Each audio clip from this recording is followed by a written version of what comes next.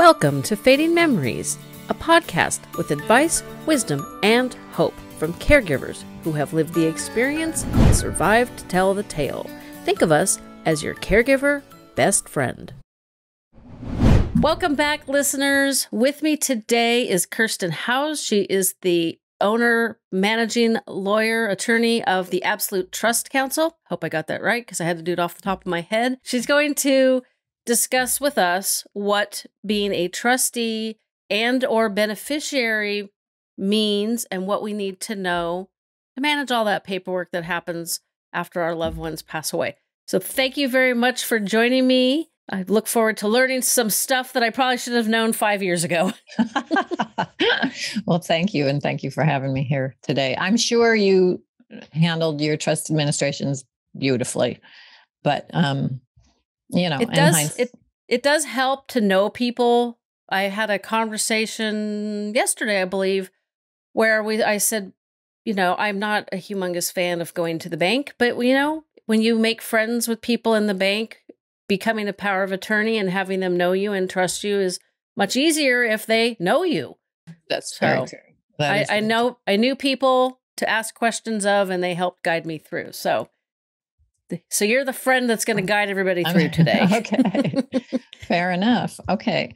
Um, so I can I can um, talk to you kind of like the overall idea and the overall process, and then we can get into any details that interest you. Sounds terrific. I did read. Um, Kirsten has excellent PDFs that you can download, and I did read through the one that we're discussing today. But she's the lawyer. I am not. Some of that stuff still confuses me when I read it. So I like to hear from people. Like I've read it. Now you're going to talk to us about it. People can read it, listen to this, and hopefully they'll be well armed for the seems like an immense amount of paperwork to deal with. Yeah, it can be.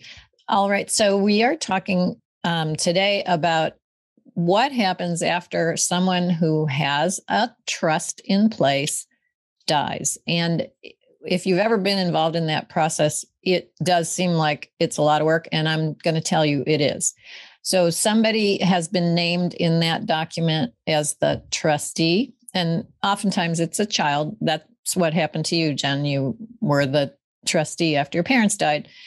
And it was your job to wrap everything up and follow the trust instructions.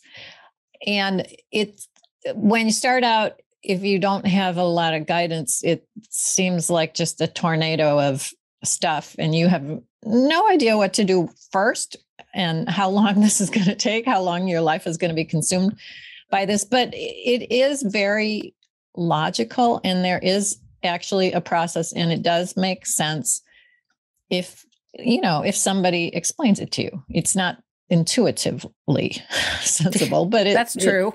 it, it really does make sense if you if you understand it. Um, and as as you mentioned we do have i mean we have a lot of resources on our website but the thing you were talking about on absolutetrustcounsel.com in our in our guidebooks is uh, i think it's guidebook number four. It's all about trust administration. And and i see it as it's about seven big steps seven large tasks that have to happen some of them are happening all at the same time. Some of them happen in the beginning and then there's one in the end, that kind of thing. But basically, every trust administration has to go through these steps for the most part. That's a general rule. Um, what I so you can get that guidebook on our website. It's free. Just download it. You that helps a lot. And for me to have something in writing in front of me helps my brain so so get it. Even if you're listening to this and it all makes sense just get it. Um, what a lot of so the, the first step really is um, involves a lot of notification. And we find that a lot of trustees you know they'll become the trustee because their mom died and they're named in the document and they you know there are certain things you know you have to do. You know you know you have to get a death certificate Okay. You know, you've got to stop the credit cards and stuff like that.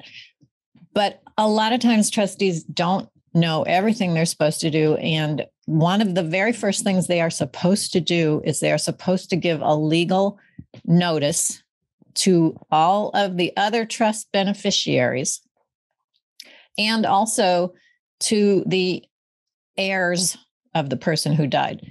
Now, the heirs might not be the same people as the beneficiaries. The heirs are the people who are, you know, legally next of kin.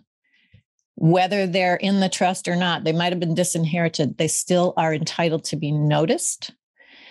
And it's an official notice the trustee has to send out. And really, you got to get that going because it's the only way to protect yourself as trustee from somebody coming down from whoever, who knows where. Out of the woodwork. out of the woodwork, exactly. You know, five years from now and saying, hey, where's my money? You, you, uh, you've got to, this notice starts a time period for people to come forward. Even if they miss that time period, that's too bad. You you gave the notice, you're done. So that's like lesson number one if you're doing this on your own it's fine. A lot of these things can be done without an attorney but get started with an attorney. Just you know talk to somebody and make sure you don't miss the important steps. So a lot of people don't know. There are certain legal notices that have to go out and that's the most important one is you've got to notify all the beneficiaries and all the heirs. Um, okay. now i'm wondering if we did all that. Well you know i mean in in a lot of families it's okay. You, you know that nobody's going to come forward. Nobody's going to say hey that trust that's not the final version. There's i have this other version you know nobody's going to crawl forward with some problem. Um, so in a lot of families that's okay but why would you take that risk if you could so easily avoid it by just sticking a few pieces of paper in the mail? So um, that's my first piece of advice is just from the beginning at least talk to a lawyer and make sure you don't miss any of the important things um, and then you've got you know you've got to um, figure out what all the assets are and get control of them because they were ideally in the trust with your deceased parent as the trustee. Now you've got to change all of that so that you as the trustee are the owner of these assets. So like you know real estate you've got to record a document against the title to that piece of real estate that lets the whole world know that now you're the trustee and now you own that real estate as the trustee and therefore you legally could sell it if that's what you need to do. But you got to get control of all the assets. So you got to go round up all the bank accounts. You got to round up all the investment accounts and get them in your name as the trustee. And those all have to be in the trust originally. Like yep. we did our trust in 2020. Mm-hmm. So we were between home ownership. So when we bought the house that we just moved into, I know because my husband's a real estate broker, so I only I only know this because he kept telling me. We there was once we closed and finalized and all the whatevers there was a specific document that he needed to get and it's not typical. You have to ask for it. I mean it's it's a standard document but it's not a standard document just because you buy a home. But it it allowed us to put the new house into our trust Right. And if we had not known about that, or he, you know, if he did not know about that, or we didn't get this form, this house would not be in our trust. That's correct. Yes. So how how would just because I'm curious, and that's the whole point of talking to people. And that's like your you, job. That's right. what so what would have happened say you know we got i mean we we had to drive out of yosemite after christmas with no windshield wipers in the snow in the snowfall and rain. It was very fun. Sarcasm font inserted here. And I mean, if well, our daughter was with us, so this is completely irrelevant, but if we had not made it home from Yosemite and the house was not in the trust because we had just moved in, what would they what would she have to do? Can you put it in the trust retroactively or Yes. So when you have an estate plan that has a trust in it, you also have a will, which we you know, informally refer to as a pour over will. And what that means is your will, eh, your will and your husband's will both will say, if I die and I own any property, put it in my trust. I'm giving it to my trust. So that's what your will says. So this home that you live in now, if it wasn't in your trust, the will says put it in the trust. So that part's the easy part. We know what to do. The hard part is how do we do it? Okay. So if you have a dead person owns property, and that would be the case if you and your husband crashed on the way back from Yosemite, you would have two dead people who own this house. That means in order to get it where it's supposed to go, we have to go to probate court. We have to open a probate, even though you know you set that trust up to avoid probate. It's so important to make sure all your assets are correctly titled. Eventually, they'll get where you want them to go. But if it has to, if we have to do a probate anyway, you know, you're spending a lot of money that you were trying to avoid. So there's that it's basically two questions, you know, where does it go and how do we get it there? Two different issues. Um, and we always want to avoid probate. So you, yeah, your husband was right. He, as soon as you closed escrow, everything was cool. The lender was cool then you turn around and you put it in your trust. Yep, that's what we, what we did. I mean, it was was within a month or less. It was yeah. pretty fast. You when can it, do it. It might have I even been in the first two weeks. I'll have yeah. to ask him when we're done. yeah, you can do. I mean, you can do it actually on the same day. It doesn't really matter, um, but you just want to do it. Make sure that- we go. Well, it was. I think we closed.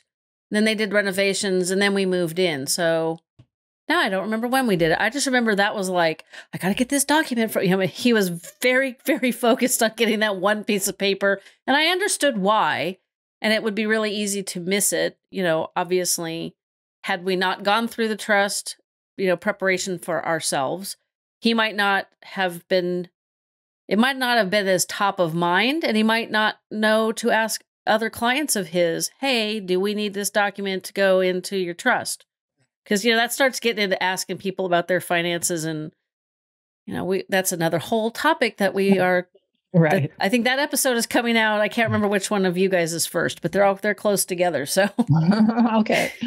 Yeah so um yes so getting it into your trust very important. And when you die the person who becomes your trustee now it's their job to figure out if we have assets that aren't already in the trust how are we going to get them in the trust? And it, uh, I oh I I hate having that conversation with clients when you know they come in and they say my mom died. Here's her trust. And I say oh okay. We can help you with the trust and we have to do a probate. That's like one of my least favorite conversations. I can understand why. So um so don't do that. Don't don't do that to your family. Anyway trustee now you got to get everything in your name into the trust. You're going to open a bank account in the name of the trust. You got to get a taxpayer ID number in order to do that because you you don't want to use your social security number. You don't want this stuff being reported to the IRS on your social security number. You can't use your dead mom's social security number because that thing is gone now. It's retired.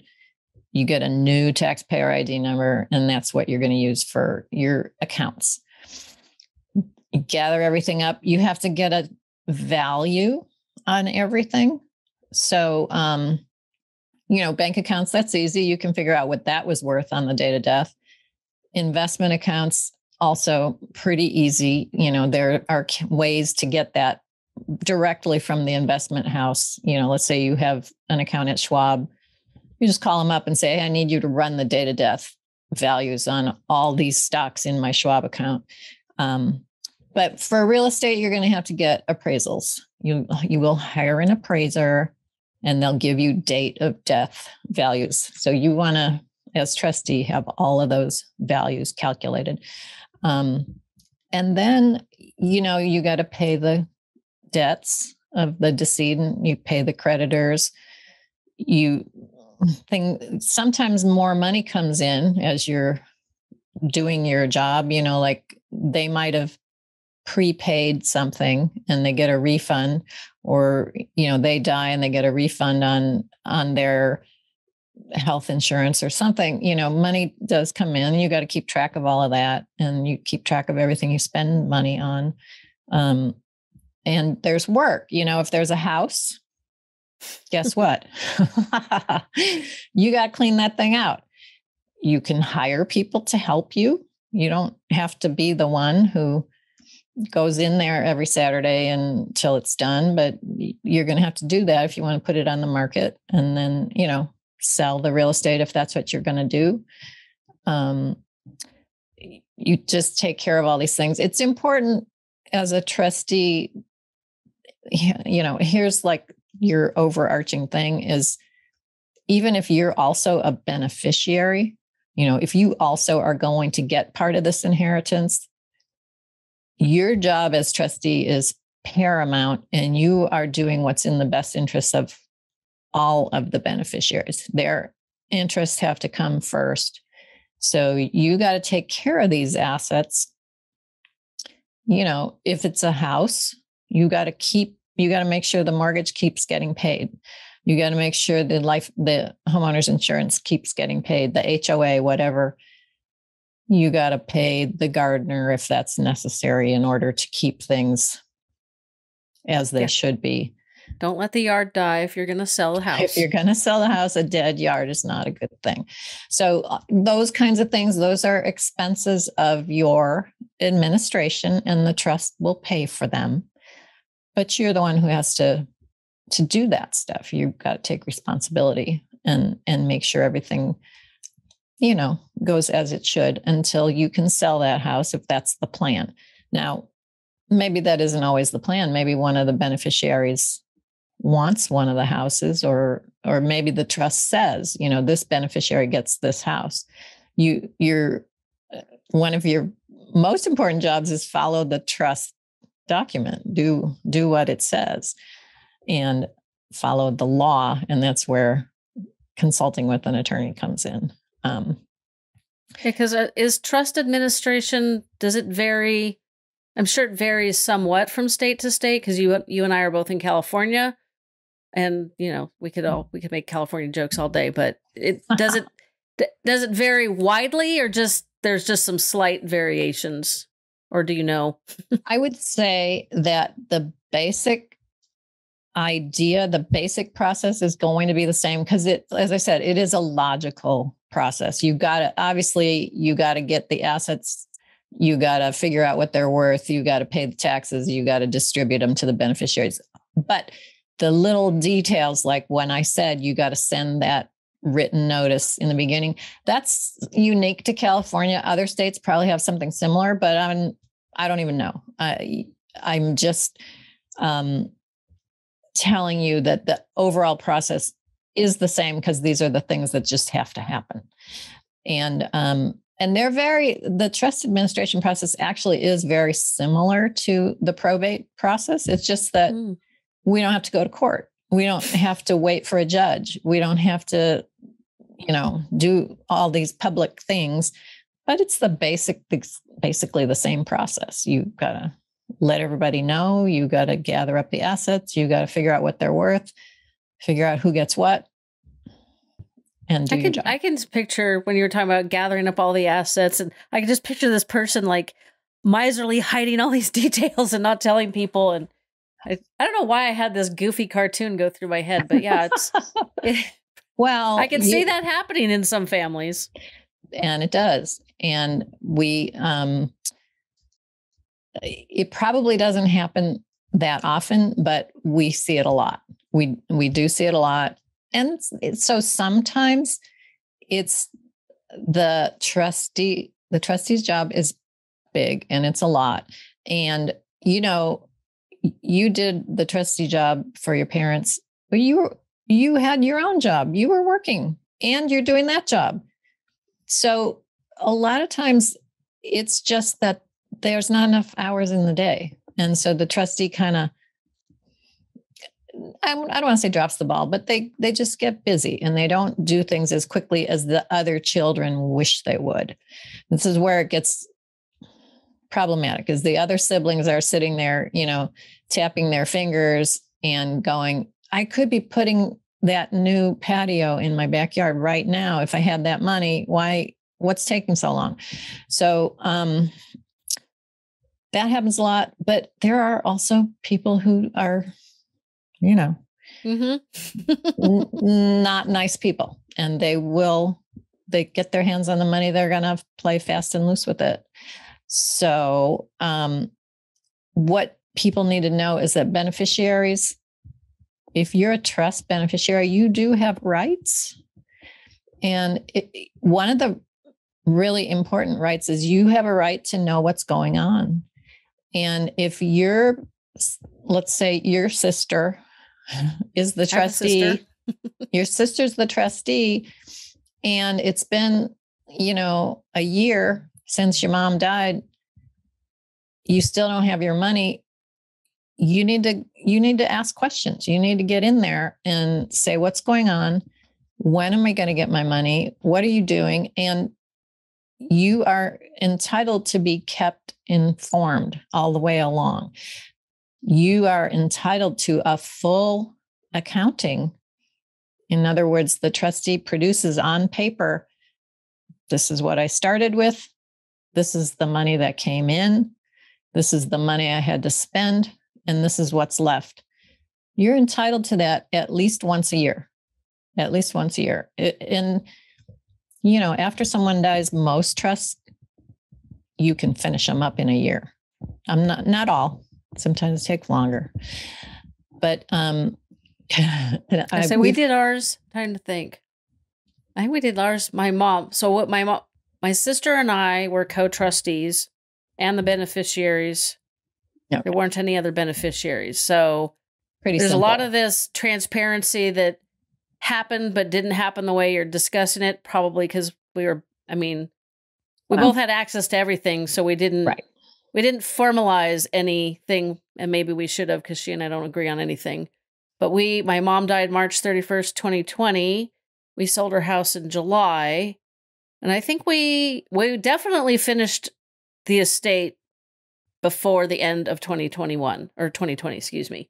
So in less years. than a year. Yeah. Yeah. Yeah. But it most of the trustee um, responsibilities happened after my dad died, which was three years before mom. Right. Because that's when we had to put that's when we had to get the trustee bank account and all that stuff that you discussed. And I'm trying to remember who asked for the uh, taxpayer ID, if that was the bank or us or I don't remember. It's been a while. But we did a lot of what you're talking about. We didn't do the notification. So, but then there was no, when my dad died, my sister and I became the co trustees, and I was mom's healthcare power of attorney. And then, so there wasn't really any beneficiaries to notify. And we did, you know, the right. normal stuff. Right. So it's just, it's kind of interesting. It's like we, we mostly did it right. And that's why I wanted to chat with you about this because, you know, there could be that one family member that just gotta, you know, yeah. hold your feet to the fire because you didn't do everything 110% perfectly. And they just give you hell. And if we can avoid, you know, it's hard enough to deal with all of this paperwork after somebody's died. You know, it's like my dad died, and we had to deal with my mother, and it was like, well, it was just like poof. That was worse. Mm -hmm. After mom died, it was it was also right at the height of the pandemic, so it was like there wasn't a lot we could do. So it right. just it right. felt very different. Mm-hmm. Well, you so your situation is a, a common one where the trustee and the beneficiaries they they get along, they trust each other, they can work well enough together that there's there aren't going to be really any problems, and you can do that. You can work pretty quickly. You you can skip some of these steps, and that's that is fine. And I, I would say in most families, that's how it goes. But when you have a, uh, okay, and here's another thing that's unusual really about your family is that you had co trustees and you still get along and you work together really well. Because sometimes that can be difficult. Um, I think we parents, actually divided the tasks because we don't get along. We we managed, like you know, we're mm-hmm. adults and we can be mature, and we managed, but like I said, we don't agree on anything. Literally, Yeah. we never have. My sister's almost 51 and we've never agreed on anything. So, Well, but you, know, found a way. You have found a way to make it work, and that's yeah, thank the yeah. important thing. That's the important thing. A lot of times, siblings who don't really get along, they they they won't let go of whatever it is that stands in the way of making it work. And we see that a lot. There's a lot of childhood, um, you know, resentment that gets played out as adults, and that's unfortunate. And and people you know people don't trust each other. If you you had this big brother who was always mean to you and now all of a sudden he's the trustee you can't let go of that and you don't trust him and that causes a lot of problems for people. Um, and having co-trustee we had not too long ago we had a family where three children they're the only children they're the only beneficiaries and they are all three trustees. And they just they just couldn't they just couldn't do it. They got to sort of like an impasse. And now they each have their own lawyer and they're Oh dear lord. you know.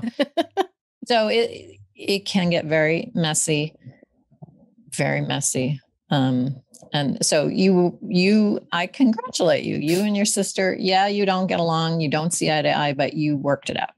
You set that aside to get the job done It was I think we were focusing on what was what mom needed. what Mm-hmm. yeah And that made it and then afterwards it's like we just want to live our lives and go our separate ways and go your get separate this ways because I was, you know, she died right at the start of the pandemic, and nobody really knew what the real estate market was going to do. And, you know, it was like, do we sell it now or do we wait? And it was like, and we had renters in there, and I knew that the rental market was really difficult. And there was a part of me that was, and I kind of wish we did, but, you know, I didn't have a crystal ball that was telling me what, what 2021 would look like.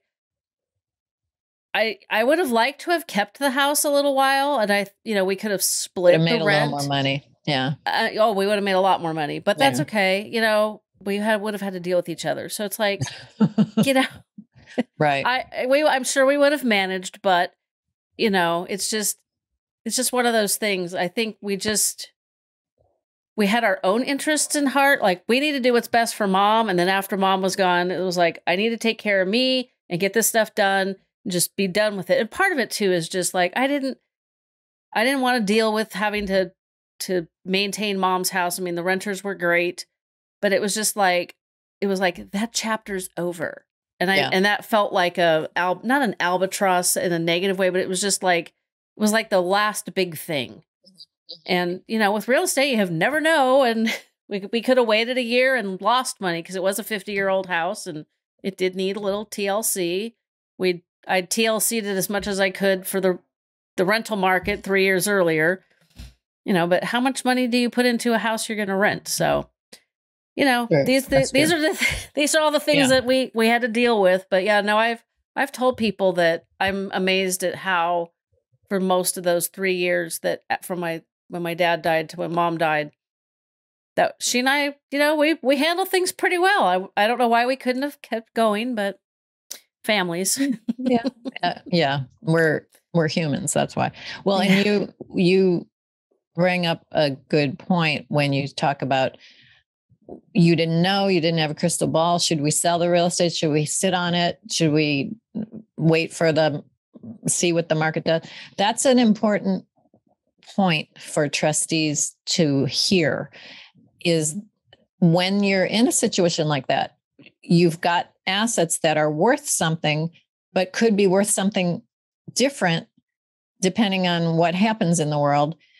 You got to you got to look at that very seriously and i would say talk to your beneficiaries. You know you say okay we've got this property. If we um, sell it now we could probably get this much. If we wait a year maybe it'll go up in value. What do you think? And you don't want to you don't want to be taking a position that's contrary to what all the beneficiaries think and then you're shooting yourself in the foot. So ideally you're going to get everybody in writing to say yes we're going to sit on this property. Let's hold it for at least a year and see see if the market values will go up. You know that that is a prudent thing to do if you can if you can. You know ultimately it's the trustee's decision and responsibility. So you don't ideally you get everybody to agree yeah we think you're doing the right thing and there's an official process for doing that too. Uh, it's called a notice of proposed action. The trustee kind of sends out a letter saying, This is what I plan to do. If you object, let me know. Otherwise, I'm going to go ahead and do it. And that way, the trustee's kind of covering their butt. You know, I gave you a chance to object and you didn't. So now you can't complain that that decision of mine didn't work out the way you wanted it to. We didn't sell it in 2021. We we we sold it immediately, and we could have made more money if we'd waited. But oh well. But you, the, yeah, then there's no way to know, and that's a, the, exactly the kind of situation where this could go either way. Um, I'm I encourage you to get input from your beneficiaries in that kind of a situation, and we're in that situation. It seems like all the time, you know, it could be the stock market. You know, you could have a really nice investment portfolio and a week from now it's down 20%. Oh, how are you going to feel about that? you know, are your beneficiaries going to say, why didn't you go to cash? Why didn't you liquidate? You know, so you got to think about those things. And um, and I'm sure there are a lot of trustees in the last month or two, thanks to Mr. Putin, who are are thinking, oh my gosh, you know, this portfolio is down 10% from a week ago. What am I going to say to my beneficiaries? It's not their fault. Mm-mm. It's uh, but, the watching the stock market with the whole Russia Ukraine thing has been interesting because we have investment accounts and my husband just loves to look at it every day. And I kept telling him this, the, the yeah, this, the, the whole invasion potential is freaking out the stock market.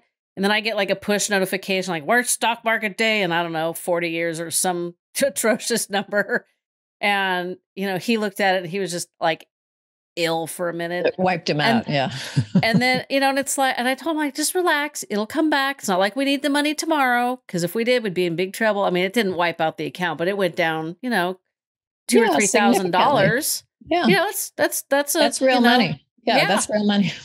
yeah. It's a nice vacation or, you know, most of a mortgage payment. I think I don't know. It was it was just, it, there was like three days where it was really bad, and then I guess what was going on with the world leaders. I don't know. I don't understand why the stock market does it what it does. So I don't watch that often. I'm just like as long as it doesn't go to zero, I'm fine. this yeah. is not Vegas. right. But and that, but I but, could see how somebody would be like, you know, they knew this was going to happen. Why didn't you liquidate or why? We need to hold mm-hmm. on to it so it comes back. I mean, everybody's got an opinion. right. And that's that comes into the point I made earlier, which is this isn't your money. Trustee, this is the money of all of the beneficiaries. So you might feel comfortable with a certain amount of risk, but do they? And you have to take that into account. You can't just go off on your own and be a maverick and um, take a lot of risk. So well, you also might feel like I'm the oldest of the two of us. I'm four and a half years older than my sister. And so there's a lot of times that I I made decisions like I didn't always tell her when, you know, oh, I gotta take mom to the doctor. We think she's got a UTI. Because she had enough stuff on her plate. And it's like I I didn't my thought process was I don't want to stress her out about something I'm handling. And then mm-hmm. when I after mom dies and I look back and I'm like, that probably looked like I was keeping secrets. So you might in your mind have, you know, like I'm trying to have the best interest yeah, of everybody. You had, the, you had the best of intentions. Yeah. But it could be interpreted absolutely yeah. badly. And I I get that and I'm like, I probably shouldn't have done that, but oh well, too late. And you know, it's they might have a different opinion. They will have a different opinion because their life circumstances are different and right. you should just ask anyway, even though it's going to annoy the crap out of you.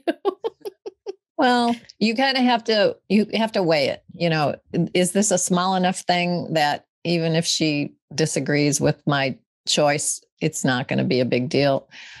Or is it kind of big enough? I probably should give her a heads up. So yeah, it's it's a balance. It's a balance. Um, but when you are a trustee, you have what we call a fiduciary duty to put the interests of the beneficiaries ahead of your own. Even if you are a beneficiary, you have to think about everybody and do what's right for everybody. So that's a I would say most most of our clients get that right away. They but once in a while we have a client that we have to keep reminding them, no, you know, this is not your money. You have to you have to do the right thing. And um, you have to let everybody know what you're doing. You don't get to just go off and do things. So um, so the the the final piece, you know, after you've paid all the bills, paid all the taxes, and now you have what's left. Maybe it's you know a big bank account or a bank account and an investment account. You have to produce an accounting to your beneficiaries. Now, when you are the trustee and the, the sole beneficiary, like your sister, you and your sister, you're the trustees and the beneficiaries. You don't have to produce an accounting to each other. You're you're living the accounting. You know what happened. But if there's anybody else besides you, you got to share all this information with them. You you know, in writing, you say this is where we started, this is what came in, this is what went out, and now here's what's left and here's what your share of what's left is going to be. And the beneficiaries if they don't like your accounting, so one thing, you know, trustees get paid. Now, you and your sister, you you're not going to pay yourselves to be the trustee because that's coming right out of your inheritance. It doesn't make any sense. No. But if you're the one, let's say you have four siblings, you're the only trustee, you're doing all the work, you are entitled to get paid for that work. So that's part of your accounting. You're going to tell the beneficiaries here's what's left and i'm taking this much of it for my fee as the trustee and you know the beneficiaries are entitled to know that and they can also object to that and that's what the probate court is for they oh, can lord no yeah i mean so you know you want to be reasonable you're that's what you're entitled to is reasonable compensation. That's the attorney's favorite word in the world, reasonable.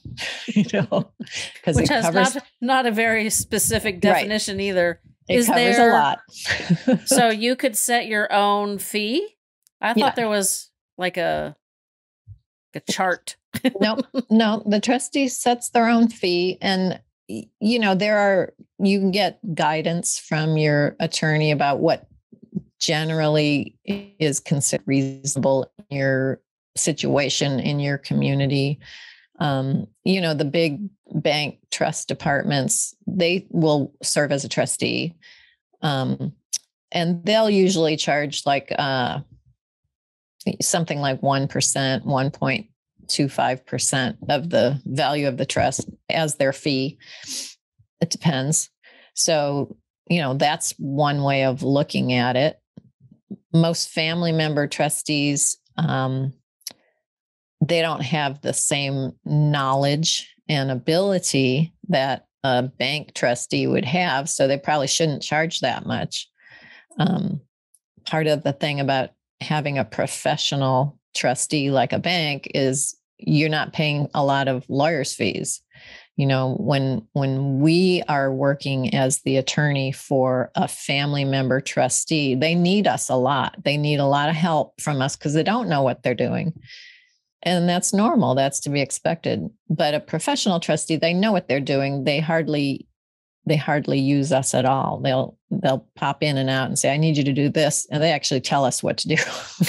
You know i need you to do this because this is a legal document and then they go away and they do, you know, so family member trustees, you can't, you probably can't charge that full, you know, 1% or 1.2% because you probably aren't worth it. It's a lot of money if you got, like my dad, my parents' trust had investment accounts and the proceeds from the house. And it was, you know, it, there wasn't a chump change. And 1% is, uh, you know, I wouldn't have wanted to pay my sister 1%. no, you wouldn't. And so, and eh, the other thing about the trustee getting paid to do their work is that's income. That's ordinary income. You have to pay taxes on it. So if you can, instead of charging a fee, you get a bigger inheritance, maybe that's worth it. You know, you don't want to, because inheritances are not income. You don't declare them. Um, that is true. You don't pay taxes. Do you find that most of your family trustees don't don't charge the the trust for their time? I would say most, but um, it's it's very common for a trustee to charge something. You know, if they're it, it nobody else knows how much work it is. And and uh, what I will say this this is it's very common that in the beginning they'll say, "Oh, I'm not going to charge. I'm not going to charge. It's my you know it's my sis my sister and brother. I'm not going to charge them." And I say, "Okay, that's fine. But do me a favor, just keep track of your hours anyway. And when we get to the end, let's look at that. and you then decide are you going to charge? Are you not going to charge? And if you get to the end and you put 500 hours into this work, maybe you're going to feel okay about charging a little bit. That's, you know, wouldn't you like to have 500 extra hours in a year? I yeah. would. I know yeah. exactly what I would do with it. I would sleep. But but you know, so it's a lot of work is what I'm saying that people don't appreciate until you actually have to do it how much work it is. Not every case. Some are very simple. You've got mom, she had a house and a bank account, one child. That's pretty simple. But eh, you know every little piece of complexity that gets thrown in there it's work for the trustee and, and they should get paid if they want to so.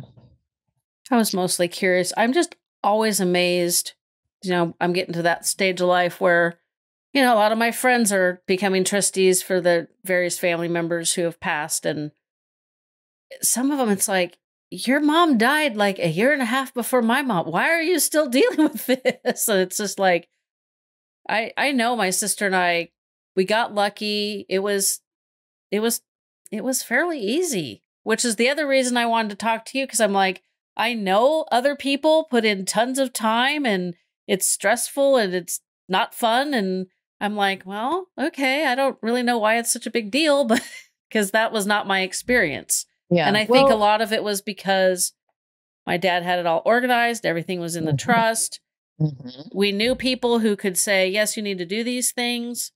And we did most of the bulk of the work before mom died. So, like, I don't know. It just, right. it all fell into, like my mom always said, everything happens for a reason. So mm-hmm. apparently it was easy because if it had gotten complicated and, and sticky, probably wouldn't have been as smooth with the two of us. Just saying. Right. and yeah. And every, case is different. So sometimes the trustee inherits a mess, not like what you had. When your mom died, things had already been really well organized. Everything was set up. We have trustees who um, they have to they have to like go to the mail every day to figure out even what the bank accounts are. They don't mm-hmm. they don't even know. Did my mom have a bank account at mechanics? I don't know. I won't know until the statement arrives. So, you know, you're you were miles ahead of those people. They're scrambling just to figure out even what the assets are. And some assets are much more complicated than others. You know, if you have to sell multiple pieces of real estate, that's a lot of work. You know, you you just not too long ago sold your house um, down here before you moved up into the the mountains. You know how much work that is. That's and and uh if you got to do that two or three times in a year because you've got three properties to sell that's a lot of work too so. That is true. Yeah every case is is different and and i know people think they can google for answers or figure stuff out but you know what there is a lot of benefit to asking a professional like you know right now We all know the real estate market is insane. My husband's been in real estate 18 years this summer, which is hard to imagine. And because he was in banking for 20 before that. So it's just like, holy Oh. Toledo. How old are we? you don't want to say those numbers together. Yeah. yeah, that's okay. Like I, I tell people, my paternal grandmother lived to be 103. So I am solidly middle aged. That's cool. You know? And it's I tell Well, people you got 45 more years, put up with me. But there's like we he is selling our friend's home, which was two uh-huh. doors down from the one we sold. And they've got it in their head that they got to rent these storage units and they got to move all this stuff out. And my husband's like, put it in the garage. But we wanted the garage to look, put it in the garage. And he's had this stupid argument about where to put their excess stuff. Mm-hmm. And he said, if this was a sell or a buyer's market, yeah, I would tell you to make sure the garage looked nice. He's like, I already got people that want your house. Don't worry about it. Put the crap in the Yeah. garage. They're going to You know, buy it. They're going to buy Yeah, it with the you know, garage full so- of stuff. Yeah. Pete, you Yeah. know, you are experienced in what you do. He's experienced in real estate. You know, I have my experiences in photography and podcasting. So don't, don't cheat yourself, you know, by not talking to professionals because I know that is having known my dad's financial planner, my dad's attorney, and because they were family friends and all that made the whole process a lot easier too because they'd ba- basically say, "Now you did such and such, right? Oh no, I didn't. Oh, you better do. Okay, yeah. I mean, it wasn't it was just like a conversation like we're having. It was easy. And like I said, thankfully it was easy so that my sister and I could deal with each other. Well, and we so one of the things that we do to make it easy for people is we we offer this service that we call a trust roadmap. And so people send uh, you know the person who's now become the trustee like you when your mom died you became you're the trustee. You send us the trust you send us the will. We have a little worksheet that we ask you to gather some information. You send all that to us. We we go through it we analyze it and then we meet with you and we have we have created for you what we call a trust roadmap and it's got all the steps that you've got to take in this particular situation based on what you've told us. And so you can so easily get that you know push in the right direction so that you're not going to miss any steps you're not going to do anything wrong by just doing just that initial piece. And and we offer that to um you know the wide world we charge very reasonably $350 but for your listeners if somebody calls my office and says oh i heard about this on the fading memories podcast we'll do it complimentary just for your listeners. But even if you you know it's so worth $350 it's oh, a totally. it's a bargain. Because it gets you you know this is step 1 to 29 everything that's got to happen you probably need help with some of those steps but at least you know you you know i, I think it's worth $350 for that peace of mind like okay i know i'm heading in the right direction Well, that sounds perfect for people like me that, you know, can do a lot of this stuff. It's like, tell me what I need to do and I will do it. And you're Right. for $350, which these days is not really seriously not that much yeah money. i know that's like safeway trip Yeah. Oh, for real. Uh, there's two of us. I don't want to tell you, my husband goes to the grocery store way too often. We eat well. It's okay. but well, you know, eating is about all we can do right now. So and work it out on the Peloton after you're done eating all that stuff. that's right. But yeah, that's you know, right. it's it, you could. I'm thinking you could take that document, that roadmap, to the other trustee or the other beneficiaries or whoever else is going to poke their nose into the business because you know that's what happens. You get Yeah. to deal with that every day, I'm sure, and say this is what we need to do, or this is what I have to do, or you know, it's it's it's kind of not me saying, "Oh, hey sis, this is what has to happen," and she's like, "Oh, really?" You know, let me investigate that Yeah. for myself. Somebody else is saying, "Here's what you need to do," Mhm. and then if you're smart, you don't miss anything, and you're not calling Kirsten in the you know first thing in the morning in tears because life has blown up on you, and you got beneficiaries screaming at you, and the government is after you. that just sounds so unpleasant. yeah, that's it. That is a really good point. I mean, it's not only um, a guide for the trustee, it's also sort of um, um, you know a visual that the trustee can share with the other beneficiaries to say look at all the items on this list this is not happening in 3 months you just need to be prepared i've got all this to do and it's going to take a while so you know it's the trustee can use it in multiple ways. Yes. Might be worth 350 bucks just to keep people off your back. Uh, yeah. Yeah. It'll buy, it'll buy you at least six months and they'll be quiet and they'll leave you alone so you can get your job done. yeah. That is a, re- I hadn't thought about that. That's a good point.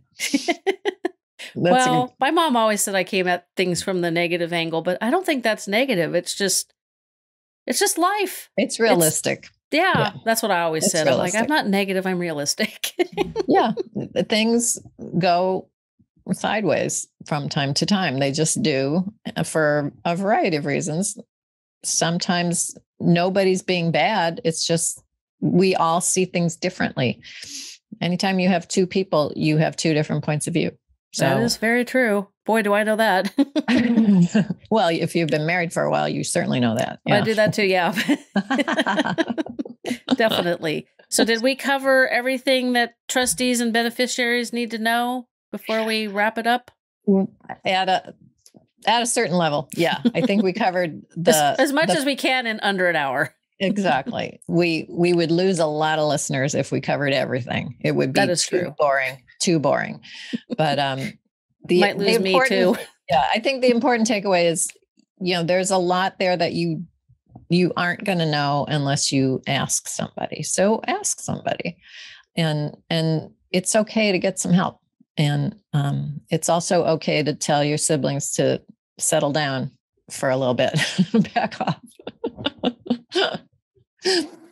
so, well, that is that was it was excellent. See, and I knew there was things that I didn't know, and that's why I wanted to talk to you and Good. This was wonderful. Good. So thank well, you so much. And thank you for that generous offer. I'm going to make sure everybody knows about it. Hopefully they don't inundate you, but I know my listeners are not quite at that point yet, but when they get there, now they have a tool.